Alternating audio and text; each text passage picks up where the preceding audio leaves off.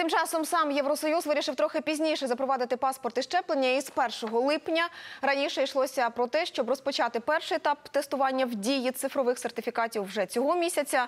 Нова постанова Єврокомісії, крім перенесення дати, передбачає шеститижневий період для видачі ковід-сертифікатів країнам, яким знадобиться додатковий час. Загалом, завдяки щепленню, ситуація в західній частині світу покращується. Франція відкриває доступ до вакцини всім охочим дорослим на два тижні раніше ніж планували. Європа готова ділитися препаратами через платформу COVAX. Вже другу партію Pfizer, 50 тисяч доз напередодні отримала Молдова. Сполучені Штати збільшують експорт вакцин.